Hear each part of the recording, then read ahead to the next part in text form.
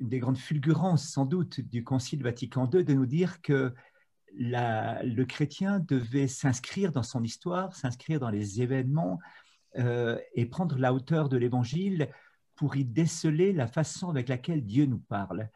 Car le Dieu auquel nous croyons est un Dieu présent dans l'histoire des hommes, qui s'est incarné même. Voilà. Et, l'Église doit entrer dans, dans cette réalité-là la suite du Christ, saisissant les espoirs, les craintes, les souffrances, les espérances de l'humanité.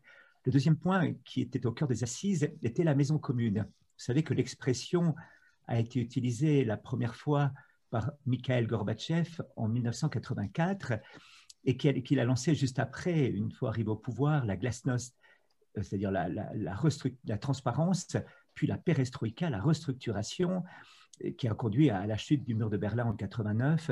Et, je crois que c'est assez intéressant que ce soit euh, ce mot qui ait été repris par euh, Jean-Paul II, mais ensuite maintenant très fortement par le pape François, pour nous dire qu'il y a des choses à faire.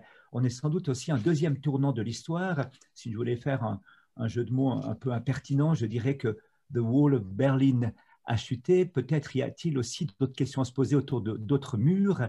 Wall Street, par exemple, comment la finance intervient dans l'économie actuelle et que finalement des murs sont toujours des barrières qui empêchent de se retrouver. Le pape François insiste beaucoup sur le fait de bâtir des ponts plutôt que des murs. Voilà. Si on revient à cet événement de la maison commune, qui a été la première fulgurance aussi de, dire, voilà, on va bâtir quelque chose ensemble.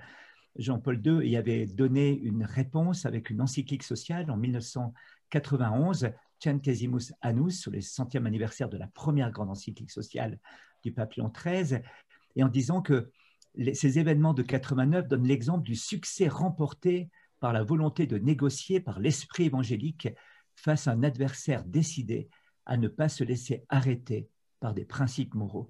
Il constitue donc un avertissement pour tous ceux qui, au nom du réalisme politique, veulent bannir de la société le droit et la morale. Voilà, donc au cœur de ce qui se passe aujourd'hui, au cœur de la, maison commune, il y a cette idée de placer au centre non seulement des principes, mais des visages qui vont nous permettre d'entrer dans, une logique nouvelle. Le pape François, son encyclique Laudato aussi, était marqué dans le titre même pour la sauvegarde de la maison commune. Et donc, on est vraiment dans cette logique-là. Alors, j'aimerais peut-être dire une chose, commencer par, on vit quand même un moment historique, un choc d'un moment historique. Les Grecs distinguaient le chronos, le temps chronologique, euh, la succession des événements, des jours, des mois, des années, et puis le kairos, une sorte de visite, une survenance d'en haut de, quelque chose qui surgit, qui nous fait voir le temps différemment. Et de voir à travers ces signes un Dieu présent. Non pas que Dieu provoque ces événements. Vous savez que dans la tradition grecque, la colère des dieux euh, provoquait des catastrophes. La colère de Zeus provoquait les orages, la colère de Poséidon provoquait les, tempêtes. Pour nous, ce n'est pas ainsi que nous lisons l'histoire, mais néanmoins, dans ces événements, on est capable de reconnaître ce que le pape François appelait un choc provocateur et révélateur en même temps. La crise sanitaire, dit-il, a mis en lumière des pathologies sociales plus graves encore, et parmi elles une culture du rejet, individualiste et agressive, qui porte à considérer la personne comme un objet à utiliser et à écarter. Il nous invite à contempler le monde à la lumière de la foi pour nous engager à chercher avec enthousiasme et au moyen de la grâce à résoudre les drames de l'histoire en mettant les dons que Dieu nous a faits au service de l'humanité et de la création. On est en plein dans le sujet, on est en plein dans, dans ce qui nous est demandé de vivre. C'est assez intéressant de lire ce discours-là, on le met en parallèle avec ce que Yuval Noah Harari avait écrit dans Homo Deus sur une brève histoire de l'avenir. Il commence son livre pour inviter le monde à, changer de paradigme en disant Nous avons éradiqué trois grands mots, la famine, la guerre et les épidémies. Et donc, over, on va partir sur autre chose maintenant. Et la première chose qui arrive deux ans après ce livre, une grande épidémie qui arrête le monde.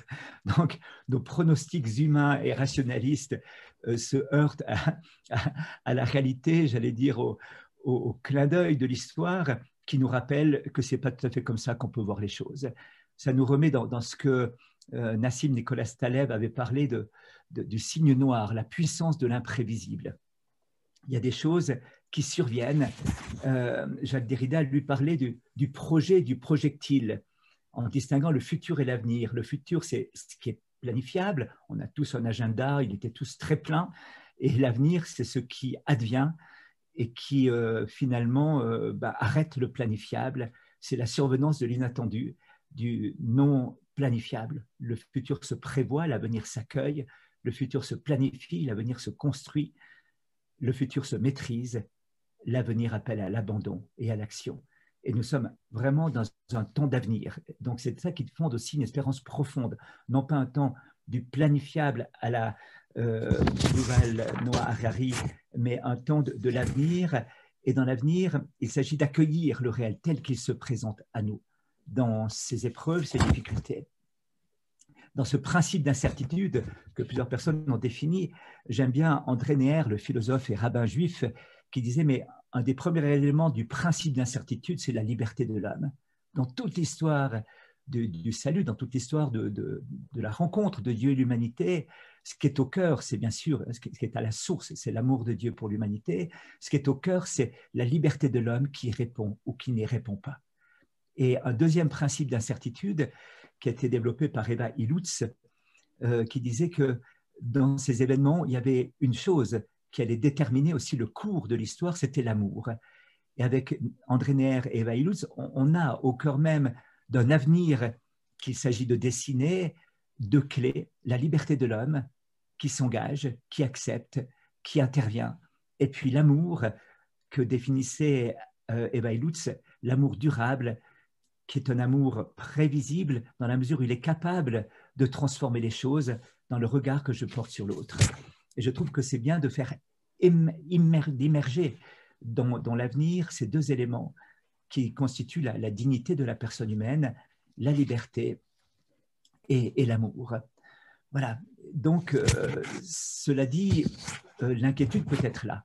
L'inquiétude notamment du dirigeant. Euh, il faut planifier, il y a des budgets à établir, il y a des carnets de commandes qu'il s'agit de remplir ou de ne pas remplir. Et cette inquiétude de demain, fait partie quelque part. En Suisse, on a beaucoup ri de notre ministre de, de, la Santé qui avait, on lui posait la question, alors comment est-ce qu'on va faire les choses? Et il y a eu cette réponse, il faut agir aussi vite que possible, mais aussi lentement que nécessaire. il avait dit, nous devons voir comment faire sans oublier que c'est le virus qui donne le rythme. voilà, donc un principe à la fois d'espérance et de réalisme politique aussi vite que possible, aussi lentement que nécessaire. Quand on en Suisse, ça veut dire quelque chose. le, deuxième surtout. voilà, donc, pour le dirigeant, euh, c'est un, une vraie question. Quand personne ne peut prévoir l'avenir, accepter qu'on en est soi-même incapable est d'abord un signe de lucidité et non pas un signe d'incompétence. C'est la première chose à reconnaître, avoir cette humilité et cette lucidité de dire, eh bien non, je ne maîtrise pas l'avenir. Et partager ce constat plutôt que tenter de le masquer à, ses collaborateurs est la marque d'un leadership réellement sûr de lui et non pas celle d'un chef hésitant. Voilà, donc je crois qu'il y a euh, accepter cette réalité-là, à l'introduire dans nos paradigmes de, gestion, d'entreprise. Il se peut aussi que euh, cette, euh, cette insécurité dans laquelle nous trouvons puisse conduire à une certaine paralysie. C'était Simone Veil qui disait que finalement, devant l'insécurité, on a tendance à se refermer, une sorte de, clôture cognitive. Euh, si on n'arrive plus à maîtriser les événements, alors on va maîtriser nos concepts ou notre façon d'aborder les choses. On va introduire un biais cognitif qui va exclure une partie des événements pour se concentrer sur ceux qui me paraissent les mieux maîtrisables, de façon à se rassurer, à se calmer ce qui finalement euh, constitue un mécanisme de défense, sans doute pour se rassurer, mais qui ne va pas aider véritablement à affronter ce demain ou cet aujourd'hui et ce demain qui sont si incertains. Le, père Pascalide, à la fois médecin, euh, prêtre, philosophe, disait Il y a un moment où l'on ne peut et ne doit plus faire confiance qu'à Dieu, car nous ne savons pas. La nouveauté de l'épidémie au Covid-19 est telle que notre seule certitude réside dans l'incertitude de l'avenir. En revanche, Dieu et lui seul le connaît. Voilà.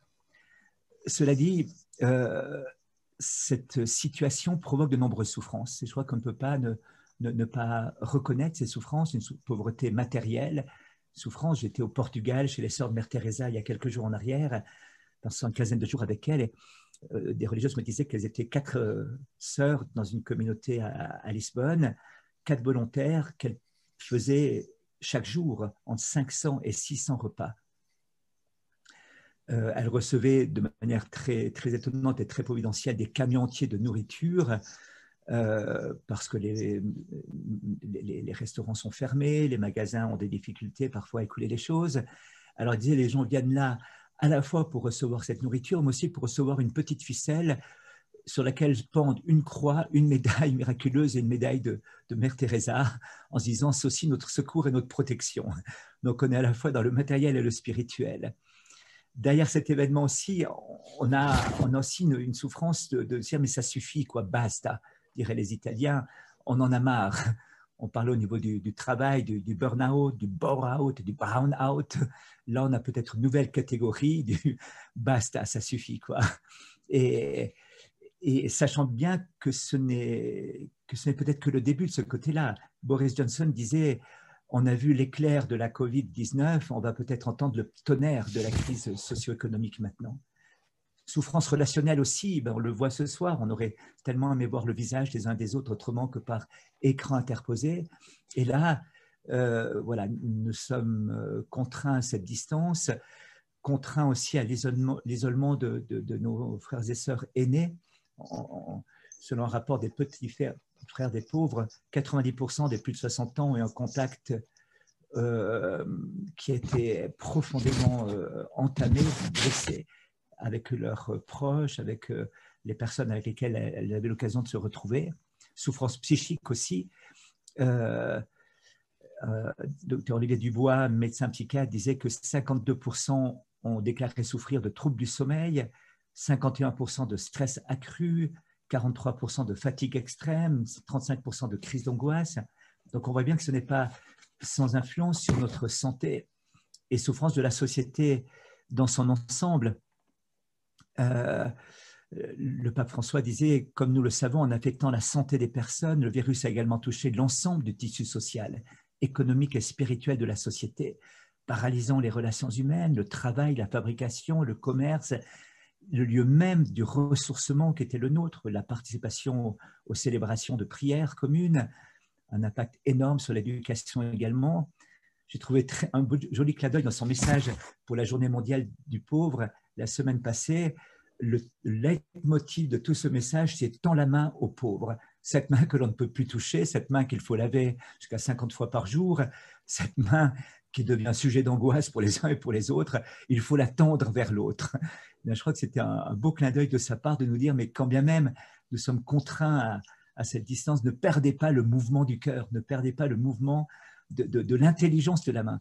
Car euh, pour les Grecs, l'intelligence était dans la main, car elle est capable de servir et, d'ouvrir de s'ouvrir à l'autre. Voilà. Alors il faut beaucoup d'indulgence parfois pour les surréactions que l'on peut voir dans la société actuelle par rapport à ces souffrances, par rapport à ces angoisses. On voit une certaine intolérance parfois, on voit des, réactions qui sont, dures, mais, devant ce grand désarroi, effectivement, je, crois qu'il faut euh, euh, accepter que parfois il y a des, survenances de réactions qui, dépassent un peu ce qui est rationnellement acceptable. Voilà, il faut juste ensuite les remettre dans l'ordre de la raison et, de la charité, mais quand même, on peut comprendre qu'il y a des cris du cœur qui surgissent. Euh, Spinoza nous parlait des passions heureuses et des passions malheureuses ou des passions tristes. Euh, parmi les passions tristes, il y avait trois sources de ces passions tristes. L'homme qui vit les passions tristes, l'homme qui exploite les passions tristes et, l'homme qui s'attriste devant ces passions tristes. Le premier, c'est l'esclave, le deuxième, c'est le tyran, le troisième, c'est le prêtre. J'espère ne pas être celui-ci, comme ça suffit-il de susciter face aux passions tristes qui montrent en nous devant, devant cette souffrance des passions heureuses? Est-ce que simplement un peu de volontarisme suffirait à transformer ça? Je ne suis pas sûr. Je ne suis pas sûr que l'on puisse simplement à la fois suivre l'affectif, l'émotionnel, euh, qui parfois prend lieu, tient lieu de, de cognitif, et, ou alors simplement subir ces choses-là. J'aimerais venir à un autre niveau, si vous voulez bien, pour entrer dans l'espérance. Le premier, c'est repartir de ce qui est au cœur de l'attitude de l'intelligence humaine, c'est l'émerveillement. À travers toute cette crise qui peut focaliser en quelque sorte notre regard et, qui, comme je disais tout à l'heure, peut produire un biais cognitif qui, bloque toute une partie de la réalité, il faut, par une décision de la liberté, s'habituer à continuer à s'émerveiller. Euh, quand euh, le philosophe Emmanuel Kant disait deux choses sont source perpétuelle d'émerveillement, c'est le ciel étoilé au-dessus de moi et la loi morale au fond de mon cœur. Voilà, deux, quelque chose à la fois d'extérieur à moi, le visage de l'autre, le visage de l'époux, de l'épouse, du collaborateur, le, visage de, de, l'enfant, euh, la création tout entière, quand on lève les yeux au-delà de la grisaille, et puis cette loi morale, quelque chose qui en moi me parle de Dieu, me parle du bien, me parle de l'amour et, m'interpelle. Euh, cette, cette, beauté, le, prix Goncourt de poésie, Eugène Gilevitch disait La beauté doit venir d'un autre monde qui s'avance jusqu'au nôtre et parfois même l'enveloppe. Voilà. Sans émerveillement, nous demeurons sourds à un certain sublime. Et cette vraie beauté est là. Euh, on demandait au peintre Georges Braque euh, qu'est-ce qu'il en est? Il disait L'art est fait pour troubler, la science rassure. Dans un monde qui s'est tourné complètement vers la science, on aurait besoin de retrouver l'art. L'art pour troubler, mais pour nous décaler. La vraie beauté, disait le pape Benoît XVI, est de donner à l'homme une secousse salutaire qui le fait sortir de lui-même, l'arrache à la résignation, à l'arrangement du quotidien, le fait souffrir aussi comme un dard qui le blesse mais qui le réveille, justement ainsi en lui ouvrant à nouveau les yeux du cœur et de l'esprit et en lui donnant des ailes en le poussant vers le haut. Donc première attitude de l'émerveillement, Einstein lui-même, on disait mais qu'est-ce qui est le plus important pour vous, l'art ou la science? Il répondait pour moi sans aucun doute, c'est l'art. L'art doit toujours venir en premier, l'art et la sensibilité. Euh, on raconte qu'un jour, Chagall visitait le Louvre où il y avait une exposition de Chagall et de Picasso. Il était déjà assez âgé, euh, l'esprit un peu perdu, et il était en fauteuil roulant. Il traverse la salle de Picasso et se met à crier Ah non, non, non, non, non Il arrive dans la salle de Chagall et dit Ah oui, ça c'est beau, ah oui, ça c'est beau. Alors, je ne sais pas si tu rendu compte que c'était de lui, mais enfin, il y avait un cri qui était là, d'émerveillement. Et ensuite, alors, on peut rentrer dans la deuxième attitude de l'intelligence, qui peut être une certaine indignation, si j'ose dire. Euh, l'indignation qui est, euh, comme disait Jean-François Maty, l'ancrage de la loi dans la conscience. Non pas le ressentiment, qui est l'ancrage de la vengeance dans l'idéologie, donc encore une fois dans la cérébralisation, mais l'ancrage de la loi dans la conscience, mais c'est pas comme ça que ça doit tourner, c'est pas comme ça qu'on doit faire. Une fois qu'on s'est émerveillé devant la beauté, le bien, le vrai, alors on peut se dresser devant tout ce qui caricature, déforme ou, transforme la beauté, le vrai, le bien, l'amour. Et, donc, euh, cette attitude de l'intelligence est capitale car elle devient un ressort pour l'action, un ressort pour intervenir dans ce monde. Un premier lieu où cet émerveillement et cette admiration devraient surgir, je pense, se situe dans, face au progrès. Le progrès dans cette double dimension, cette dimension d'enrichissement de l'humanité, de, facilitation de la vie, euh, de facilitation des, rapports, de rapprochement des personnes, des techniques qui nous sont à disposition pour soigner, pour guérir. On, voit bien l'importance de cela, la recherche scientifique. Et puis de l'autre côté, une sorte d'idéologie du progrès qui, déconnecte complètement ce progrès euh, quant à sa finalité. Voyez-vous, on demandait un jour à une personne qui traversait au triple galop un village euh, sur son cheval. On lui dit, mais où vas-tu si vite? Il lui dit, je ne sais pas, demande-le à mon cheval. Et donc, le progrès peut nous entraîner nous-mêmes vers des lieux où nous ne voulions pas aller euh, si l'on ne sait pas comment diriger ce progrès. Et je crois que c'est une première indignation. À quoi sert ce progrès? Qu'est-ce qu'on en fait euh, dans, ce monde? Un deuxième lieu où l'émerveillement et l'indignation devraient se trouver, c'est la découverte de la limite, de la vulnérabilité. Euh, on y fait tous face, je crois, durant cette période. Se dire, voilà, il y, a des limites. Nous sommes fragiles. Le monde est fragile, extrêmement fragile. C'est un lieu d'émerveillement, voyez-vous, parce que c'est un lieu où la, tendresse, où l'affection, où, la proximité peut se développer. Euh, c'est quand la vulnérabilité est présente que la bonté se trouve. C'était Yves Coppens qui disait ça, un ami astrophysicien, Dominique Lambert, quand il parlait un petit peu de, ce qu'il avait découvert en, matière de, euh, paléontologie. Euh, il disait, mais ce qui m'a le plus émerveillé, c'est d'avoir trouvé des, tombes de l'époque du Mésolithique, donc 10, 12 000 ans en arrière, comme ça, dans une période encore nomade, avant la sédentarisation, avec dans ces tombes des corps de personnes gravement handicapées, de naissance ou d'accident, qui avaient été donc nourris, traités, accompagnés, portés à dos d'hommes et enterrés au même titre que les autres. Et Yves Coppens disait, pour moi, il s'agit là de l'émergence de l'humanité, quand la vulnérabilité est prise en compte. je crois que c'est une première chose à laquelle il faut être très vigilant, l'émergence de la vulnérabilité aujourd'hui et l'indignation chaque fois que cette vulnérabilité, cette fragilité n'est pas prise en compte, chaque fois que euh, on saute par-dessus l'attention aux plus faibles, aux plus pauvres. Une des limites aussi, bien sûr, est la limite de la mort. Dans euh, les lettres de Montmoulin, la mort du dauphin, Alphonse Daudet nous rappelle cette chose incroyable. Le dauphin qui dit, mais enfin, est-ce que mon ami Beppo ne pourrait pas mourir à ma place? En lui donnant beaucoup, beaucoup, beaucoup d'argent on lui dit, mais non, c'est pas possible, tu vois, personne ne pourra prendre ta place. Et le roi Béranger, dans, dans auquel le médecin annonce sa mort proche, s'étonne en disant, mais on m'avait promis que je ne mourrais que lorsque j'aurais décidé moi-même. Ben non, ben non, voilà. Donc, limite personnelle qui nous frappe, mais qui nous ouvre aussi à ce que les chrétiens appelaient le dies natalis, le jour de la naissance, de la vie éternelle. La mort n'est pas une fin, elle appartient à la vie. George Steiner, qui commentait, Martin Heidegger, disait Commencez à penser votre mort. C'est la seule chose qui vous soit authentique. Personne ne peut mourir à votre place. La mort reste l'expérience essentielle du moi, c'est le moi nu. Essaie dans ta vie d'avoir sur toi assez d'emprise pour que la mort ait un sens. Donc, limite personnelle, de la vulnérabilité, de la mort, limite de la planète aussi, qui sont là, limite sociétale aussi peut-être cette crise fait émerger quelque chose que Paul Valéry avait défini comme étant la mortalité des sociétés. L'homme n'est pas seulement mortel, mais les sociétés elles-mêmes peuvent être mortelles. Amin Malouf, ce, grand auteur, euh, écrivain euh, libanais, et Dieu sait si le Liban souffre aujourd'hui, parlait du naufrage euh, des civilisations. de mémoire de rose, disait-il, on n'a jamais vu mourir un jardinier. Mais aujourd'hui, les roses pensantes que nous sommes vivent de plus en plus longtemps et les jardiniers meurent. En l'espace d'une vie, on a le temps de voir disparaître des pays, des empires, des peuples, des langues, des civilisations. Et, donc, il y a un véritable, euh, un véritable, une véritable interpellation face à cette euh, capacité pour une civilisation de disparaître. Joseph Tainter parlait de l'effondrement des sociétés complexes aussi.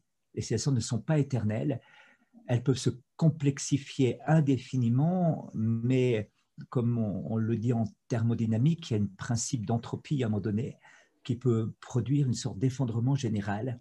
Et, donc, il faut être conscient de cela. Euh, il ne s'agit pas simplement de vivre avec des statistiques ou des chiffres, il vivre avec des visages et des personnes.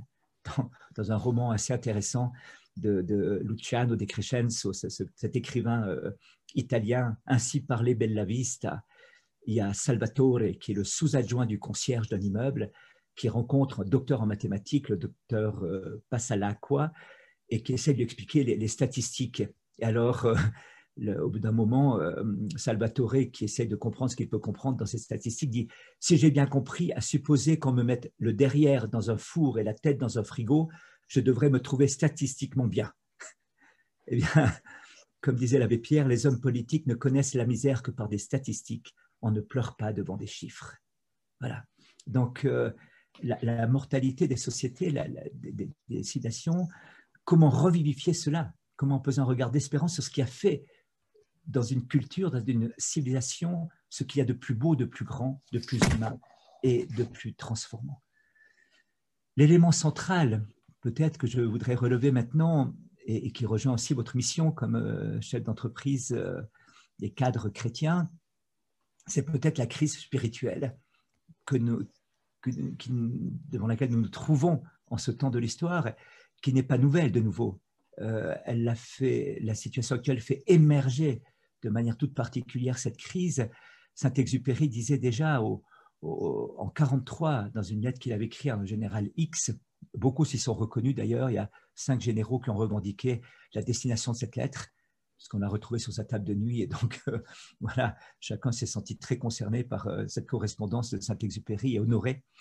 Euh, il disait Il n'y a qu'un problème, un seul de par le monde, rendre aux hommes une signification spirituelle, des inquiétudes spirituelles, faire pleuvoir sur eux quelque chose qui ressemble à un chant grégorien, disait-il. Tous les craquements des 30 dernières années n'ont que deux sources, les impasses du système économique du 19e siècle et le désespoir spirituel. Il s'agit de découvrir, il n'y a qu'un problème, disait-il, un seul, redécouvrir qu'il y a une vie de l'esprit plus haute encore que la vie de l'intelligence, la seule capable de satisfaire le cœur de l'homme. Ça déborde le problème de la vie religieuse qui n'en est qu'une forme, et la vie de l'esprit commence là où un être vu et conçu au-delà des matériaux qui le composent. Abdenour Bidar, le philosophe musulman, disait S'il y en a un, voilà le vrai visage du totalitarisme aujourd'hui. La conspiration terrible, tyrannique et secrète de toutes les forces intellectuelles et sociales qui condamnent l'être humain à une existence sans aucune verticalité. L'islam, avec son sacré rigidifié dans le dogmatisme et le formalisme wahhabite, est le frère en miroir de notre Occident au sacré dilué dans le relativisme et le désenchantement généralisé, deux manifestations souffrantes et impuissantes d'un même aplatissement ou effondrement sur lui-même de l'humain. Voilà. Une sorte de réduction à ce que euh, un philosophe Giorgio Agamben parlait, la réduction à la vie nue. C'est la vie réduite à sa dimension biologique, érigée en absolu, en tant que telle, une vie proclamée sans prix au détriment de tout ce qui fait le prix d'une vie, l'amour, la beauté, la vérité, la liberté. Euh, une sorte de, gouvernance du biopouvoir, c'est Michel Foucault qui avait cette expression et qui disait d'ailleurs très intéressant, il y, a, il y a, déjà 30 ans en arrière, il disait euh, face à des épidémies, il y a deux modèles. Le modèle de la lèpre, on exclut la personne tu fais ce que tu veux, tu es libre, mais tu es exclu du cadre social, tu n'entres pas dans les villes. Et puis le modèle de la peste, disait-il, c'est le principe de la surveillance. Chacun est examiné, confiné, ausculté, et tout le monde se fait l'auxiliaire de la police en dénonçant chacun. Donc c'est assez intéressant cette analyse des deux modèles de réponse euh, et disons on a passé finalement dans notre monde actuel de la transition du modèle de la lèpre, dont le fondement était justement l'exclusion, tu es libre en dehors de la société, fais ce que tu veux, au modèle de la peste qui est la surveillance généralisée. Il y a une sorte de prophétisme derrière cette vision du biopouvoir euh, tel que défini par Michel Foucault. De sorte qu'on a presque perdu tout ce qui avait été l'émergence dans ces 30 euh, dernières années du bio, psycho, social, spirituel, de la prise en compte de toutes les dimensions de la personne humaine. Et quand le, grand imam d'Al-Azhar Amadel Tayeb et le pape François ont écrit cette déclaration sur la fraternité, c'est un peu cela qu'il voulait dire. Nous soulignons qu'avec ces progrès historiques grands et appréciés, se vérifie une détérioration de l'éthique qui conditionne l'agir international et un affaiblissement des valeurs spirituelles et du sens de la responsabilité. Au fond, nous sommes appelés à, vivre à hauteur d'homme, si vous voulez, à redonner à notre humanité un désir de vivre à hauteur d'homme, à ne pas nous protéger du risque de vivre. Euh, et dans tout cela, dans tout ce qu'on vit, on voit bien quelque chose qui est, qui est important, c'est la quête du sens. Euh, Victor Frankl, un, psychiatre autrichien qui a développé toute une thérapie après trois ans en Auschwitz, il appelle la, logothérapie, disait ceux qui ont un pourquoi peuvent supporter presque tous les comment. Ceux qui ont un pourquoi euh, pour vivre peuvent supporter presque tous les comment. Euh, et, on cherche toujours ce pourquoi, voyez-vous. On a beaucoup critiqué ou parlé un petit peu de, certaines théories complotistes, de, certaines euh, associations d'idées qui étaient faites. De, euh, c'est derrière ça quand même une quête du sens. On appelle ça l'effet cigogne, vous savez. On disait qu'il y avait beaucoup d'enfants qui naissaient dans les villages italiens où les cigognes se reposaient il y a bien une corrélation entre les cigognes et les enfants parce que la natalité était plus grande en campagne qu'en ville, mais il n'y avait pas une causalité. Ce n'est pas les cigognes qui apportaient les enfants. Et donc, c'est important de distinguer la causalité et la corrélation. On peut voir des signes qui sont là, qui sont corrélés, mais qui ne sont pas en causalité. Euh, et donc, on voit émerger aujourd'hui une sorte de, religion séculaire qui, veut remplacer le vrai sens de Dieu, capable d'apporter aux questions que l'on se pose euh, un sens et une dimension qui peut remplir le cœur de l'homme. Voilà. Euh, la science est là pour répondre aux questions du, du comment. C'est la sagesse qu'il nous faut pour répondre au pourquoi. Quelqu'un disait très justement, la science c'est de reconnaître qu'une tomate est un fruit. La sagesse, c'est de ne pas en mettre dans la salade de fruits. et j'allais dire qu'aujourd'hui, il y a une sorte de, surgissement. Je lisais cette réflexion de Jack Ma, le fondateur d'Alibaba. Nous devons enseigner à nos enfants quelque chose d'unique pour qu'une machine ne puisse jamais nous rattraper. Les valeurs, la foi, la pensée indépendante, le travail d'équipe, le souci des autres, les compétences sociales, le sport, la musique, la peinture, les arts, la foi, pour s'assurer que les humains sont différents des machines. C'est assez intéressant de, découvrir ces, propos sous la, plume de, de, Jacques Ma. Voilà. Et je crois que même Antonio Guterres, le, secrétaire général de, de l'ONU, disait Nous savons des crises de santé publique précédentes, du VIH, de Ebola, que les actions des chefs religieux influencent les valeurs, les attitudes, les comportements et les actions des gens.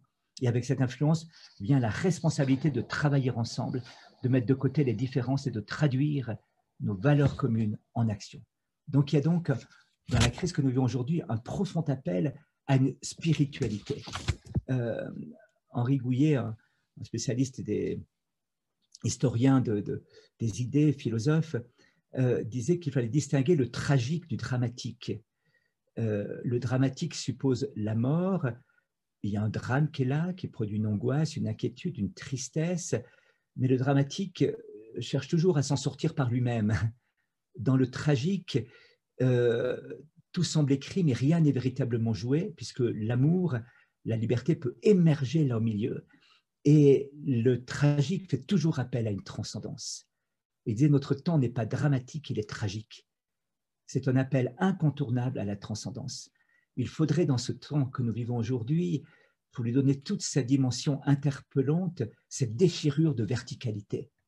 Euh, et dans cette déchirure de verticalité, une, une prière doit jaillir. C'est ça le propre du, tragique face au dramatique. Le dramatique semble sans issue, on essaye euh, par différents moyens d'en trouver une, mais nous sommes appelés à dépasser cela. Voilà. Et donc, euh, découvrir qu'il y a quelque chose plus grand que, que, l'homme, quelque chose que l'homme passe l'homme. Et peut-être même d'une mystique, voyez-vous.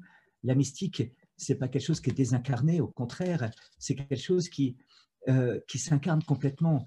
C'est de comprendre que l'on ne pourra pas se sauver nous-mêmes. Au cœur de, cette histoire, c'est ne pas se trouver ne pas se sauver soi-même. Euh, la mystique implique un profond réalisme c'est un jour Saint Vincent de Paul qui voyait une religieuse en train de balayer un couloir et dit, ma sœur, vous faites ça pour la gloire de Dieu. Et la sœur, surprise d'être dévoilée dans ses pensées secrètes, les yeux levés au ciel et lâchant son balai, dit, oh oui, mon père. Et Vincent de Paul lui réplique, eh bien, s'assoit, ma sœur. Si vous faisiez cela pour que le couloir soit propre, vous vous y prendriez tout autrement. Il voulait dire par là qu'il fallait à la fois maîtriser la technique de surface et en maîtrisant la technique de surface, il fallait glorifier Dieu, voyez-vous? Donc, une vie authentiquement mystique ne, ne, dénie pas la réalité. Au contraire, un jour, Thérèse d'Avila vient dans un monastère et on lui apprend que la supérieure a interdit les histoires drôles euh, parce que ça risquait de susciter un certain amour-propre chez les sœurs. Elle a cette réplique d'une pertinence totale Mon Dieu, où en sommes-nous arrivés? Comme si nous n'étions pas assez stupides par nature, voilà que nous voulons le devenir par grâce. Donc, voyez-vous, euh, le réalisme spirituel me paraît au cœur de cette mission. Le vôtre, la vôtre aussi, de vous dire, mais voilà, au cœur de, cette, de ce combat qui est le nôtre, au cœur de cette mission qui est le nôtre, il y a une force révolutionnaire qui est la force, spirituelle, qui est la capacité de voir la vie en 3D. Déjà pour soi, c'est de savoir que ma seule énergie ne suffira pas, mais qu'elle est soutenue par la grâce de Dieu, par la puissance de la grâce de Dieu, qui se déploie justement dans ces fractures de la fragilité, dans ces fractures de la, de, la vulnérabilité, dans ces fractures de l'incapacité à programmer, à envisager l'avenir, à, bâtir le futur pour laisser l'avenir surgir. Et Dieu, dans cet avenir, est capable de faire quelque chose. Et puis par la prière également. Jean-Paul II disait, par l'adoration, le chrétien contribue mystérieusement à la transformation radicale du monde. Euh, et Benoît XVI disait, avant toute activité, toute transformation du monde, il doit y avoir l'adoration. Elle seule nous rend véritablement libres, elle seule nous donne les critères pour notre action. Précisément dans un monde où les critères d'orientation viennent progressivement à manquer et où existe la menace que chacun fasse de soi-même son propre critère, il est fondamental de retrouver l'adoration. Marcel Gaucher s'était un peu ému d'entendre le président de la République parler de la formidable capacité de résilience de la France face à la crise. Et il disait, écoutez, Boris Cyrulnik avait raison de parler de la résilience dans les épreuves personnelles, mais d'un chef d'État, on attend non pas la résilience, mais le courage et la lucidité de l'action.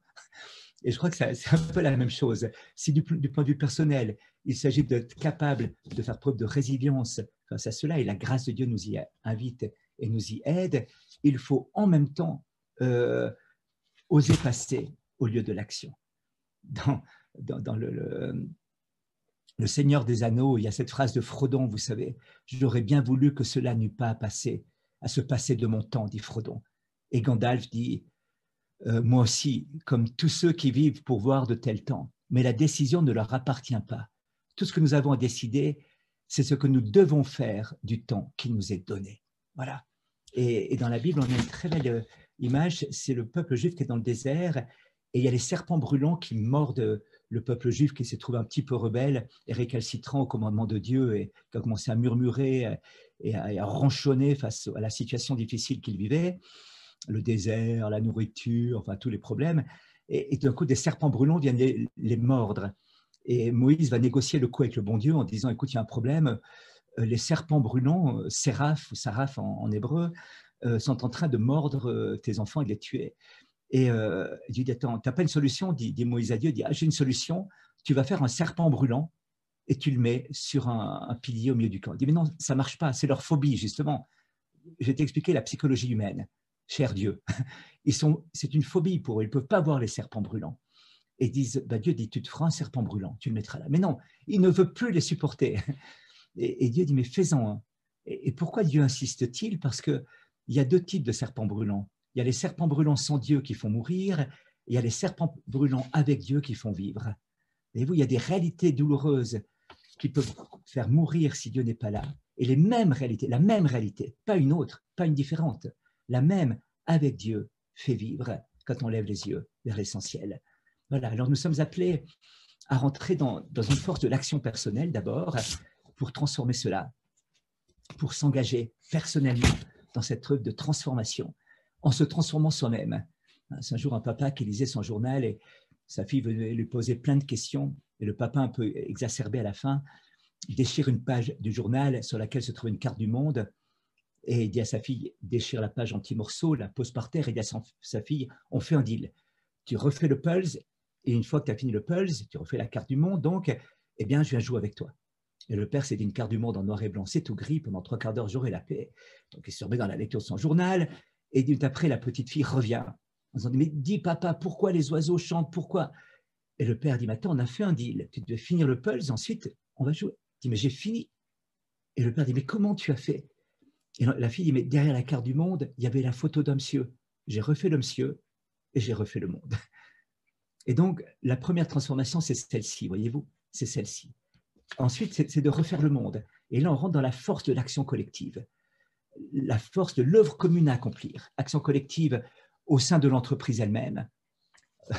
Après 15 euh, ans de recherche, Google avait lancé un projet Aristote, Aristote pour savoir qu'est-ce qui faisait que une entreprise fonctionnait bien, une équipe fonctionnait bien, c'était la gentillesse entre les collaborateurs.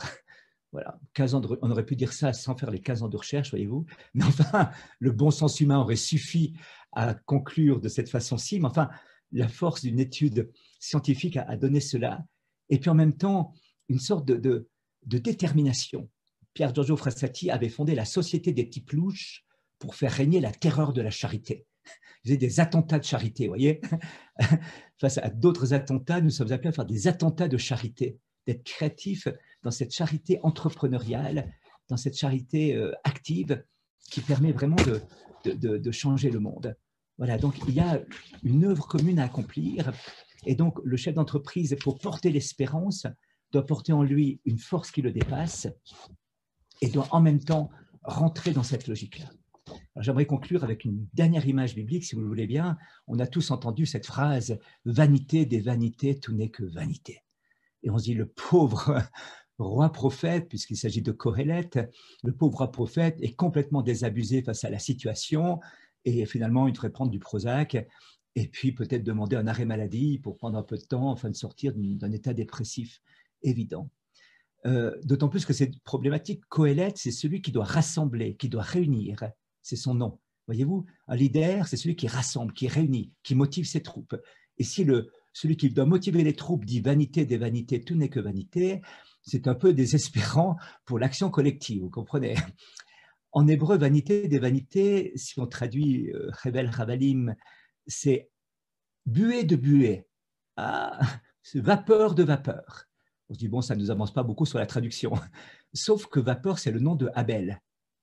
Et peut-être que Coëlette, finalement, avait autre chose en vue que de dire vanité des vanités. Peut-être voulait-il nous dire Abel de Abel, tout n'est que Abel.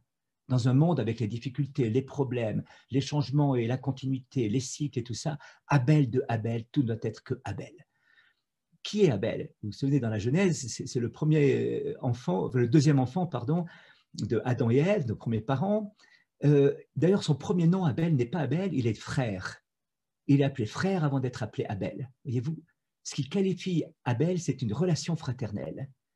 Et puis, il fait qu'une chose, il fait un sacrifice qui s'appelle korban en hébreu, et qui vient d'un mot qui veut dire se rapprocher. Donc, c'est un frère qui veut se rapprocher, et de Dieu, et des autres, et de la nature, puisqu'il est le, pasteur du troupeau, voyez-vous. Alors, quand on découvre Abel de Abel à la première ligne de ce livre biblique, on se dit, les Juifs se disent, mais où est Cain C'est le frère qui a tué Abel, vous vous souvenez? À la deuxième ligne, à la deuxième chapitre, Cain apparaît. Cain signifie j'ai acquis. Et au chapitre 2, verset 7 de l'île Colette, Cain dit j'ai acquis, avec le même verbe que son nom, des esclaves, des servants, des domestiques, des troupeaux, du gros et du petit bétail plus que quiconque. Donc Abel, c'est celui qui a les mains ouvertes, qui est le frère qui accueille. Cain, c'est l'accueillant, si vous voulez. Cain, c'est celui qui met la main sur la vie, qui possède, qui acquiert toujours plus. Et peut-être que Coëlette voulait nous dire autre chose que vanité des vanités, tout n'est que vanité. Il voulait peut-être nous mettre au challenge de se dire Abel de Abel, tout doit être que Abel, autrement, ce sera Cain de Cain, tout sera Cain ou ce sera un monde fraternel que nous voulons bâtir, et ça va être un, monde de service, un monde où l'on veut se rapprocher les uns des autres. Et ainsi, le roi serviteur, le roi prophète Coëlette peut remplir sa mission, c'est-à-dire réunir un peuple autour d'un projet commun, d'une œuvre commune, d'une culture, d'une société, ou alors le monde sera caïnique, c'est-à-dire que l'homme veut acquérir, accumuler euh, et mettre la main sur la vie. J'ai acquis des esclaves, des servantes, des domestiques, des troupeaux. Quelque vie que ce soit, je deviens le possesseur de la vie, où j'accueille la vie, où je mets la main sur la vie. Et je crois que c'est peut-être cette conclusion que j'aimerais vous laisser. Nous sommes appelés à devenir des Abel. Abel de Abel, tout n'est que Abel. Non pas dans une parole qui semble désabusée, mais dans une parole de profonde espérance. Il y a une fraternité à bâtir. Le pape nous y a invités et nous pouvons le faire car c'est à notre portée, à notre mesure avec la grâce de Dieu.